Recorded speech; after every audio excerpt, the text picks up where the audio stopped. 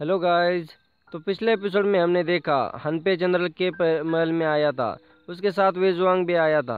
हनपे ने जनरल को एक खेल बताया था। अब आगे, एपिसोड की शुरुआत उसी सीन से शुरू होती है। हनपे लड़कियों को कहता है, इन लकड़ियों पर नंबर लिखे हुए हैं। जिसको जो नंबर मिलेगा, उसका वही क्रम होगा। लड़कियाँ लकड़ी निकालती है। एक लड़की का नंबर पहला आता है तो वो डरने लगती है। वो जनरल से कहती है, जनरल, मैं मरना नहीं चाहती, पर जनरल कुछ भी नहीं कहते। तो लड़की गुस्से से हानफे को कहती है, आपके पास कितने भयानक खेल है। मैं मरने से आपको क्या मिलेगा? उसकी बात सुनकर हानफे हंसता है और कहता है, दरअसल इस खेल को खेलते समय क्रम बिल्कुल भी मायने नहीं रखता। यह प्रस्ताव है जो मायने रखता है। तो लड़की कहती है आप मेरा उपहास कर रहे हैं।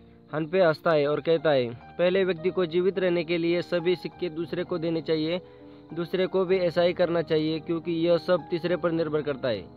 इससे पहले और दूसरे व्यक्ति के पास शून्य सिक्के होंगे, जबकि तीसरे व्यक्ति के पास सौ सिक्के होंगे। यही एकमात्र उपाय है। लेकिन क्या स्थिति ऐसी नहीं होगी?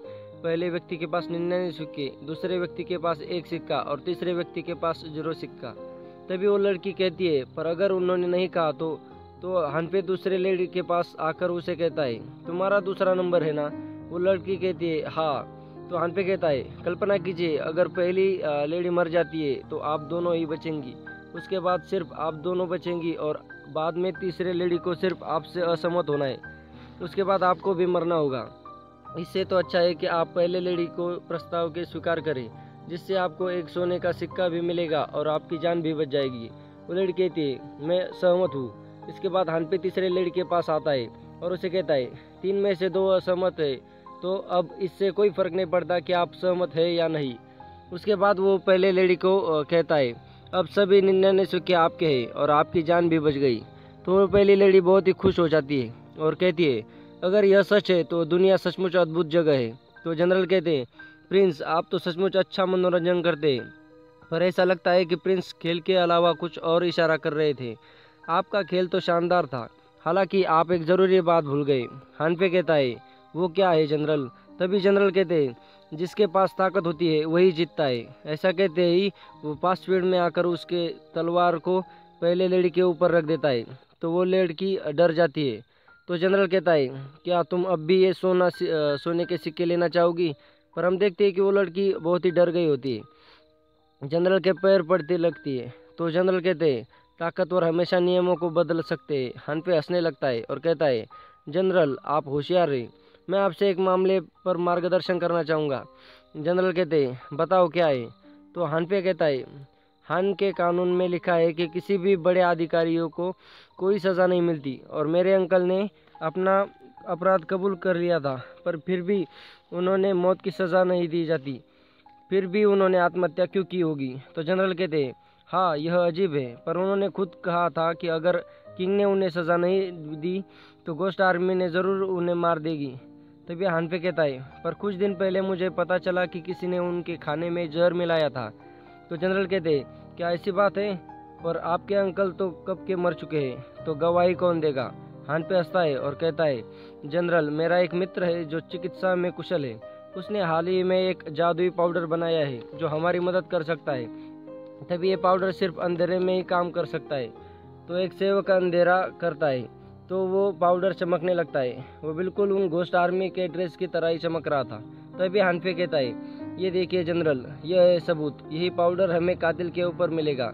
और इससे मुझे पता चला कि खजाना कहाँ छिपाया है।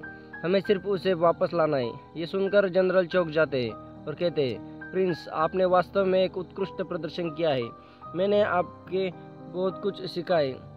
क्यों ना आप कुछ दिन यहीं पर रुक रहे? हम और चर्चा कर सकते हैं। ऐसे कहते ही जनरल तलवार लेकर हानपे की तरफ़ बढ़ने लगते। तभी हानपे कहता है, हमने पहले ही काफ़ी देर कर आपको परेशान किया है। अब और परेशान करना उचित नहीं होगा। तभी जनरल कहते हैं, मेरी तलवार आपको किसी भी ऐसी चीज़ से इनकार नहीं करने देगी, जिसे मैं स्वीकार करता हूँ।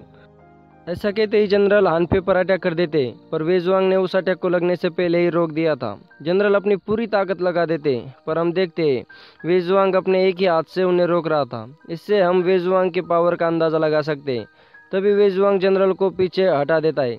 तो जनरल हंसता है और कहता है, थोड़ी देर पहले मैंने देखा कि आपका मित्र एकदम शांत था तो मैंने उसकी परीक्षा लेने का सोचा। तभी वहाँ पर एक सैनिक आता है और कहता है, मास्टर जांगलियांग का संदेश है। उन्होंने कहा है, प्राइम मिनिस्टर ने आपको भोजन के लिए बुलाया है। वो आपकी प्रतीक्षा कर रहे हैं।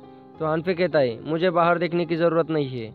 जनरल, मैं अलविदा लेता हूँ। ऐसा कहकर वो चले जाते हैं। सामने जांगलियांग खड़ा होता है और वो तीनों कहीं पे जाने लगते हैं। हमारा सीन शिफ्ट होता है। हम देखते हैं एक पहाड़ी पर हनपे जांगलियांग, वेजवांग और मिस जुनू बैठे हुए होते मिस जुनू हनपे से पूछती है हम यहाँ क्यों बैठे हैं? हनपे कहता है ये अच्छी जगह है शो देखने के लिए। मिस जुनू कहती है, प्रिंस, क्या आप मज़ाक कर रहे हैं? कौन करेगा शो? तो हनपे कहता है, वो जल्द ही आने वाले हैं। अगर आपको समझ नहीं आया तो मैं बता दूँ। हनपे ऐसा इसलिए कर रहा है क्योंकि उसने जनरल से कहा था कि खजाना कहाँ है, वो मुझे पता है। तो जनरल खजाने की जगह बदलने के लिए सैनिक भेजने वाले हैं। जबकि सैनिक खजाना ढूंढ लेंगे, तब वे जुआंग जाकर उनसे खजाना ले लेगा। यही हानपे की पूरा प्लान है। हम देखते हैं जनरल के महल का दरवाज़ा खुलता है और बहुत सारे सैनिक कहीं जाने लगते तभी मिजुनु कहती है, जनरल के सैनिक जा रहे हैं। इसका मतलब यह है, प्रिंस की जी हुए के घर की यात्रा ने उन्हें लुभाया है। तभी हानपे कहता है, बाकी शो में मुझे आपकी ज़रूरत है। तो वेजवांग उठता है और जाने लगता है। इसके साथ हमारा एपिसोड भी यहीं पे ख़त्म होता है।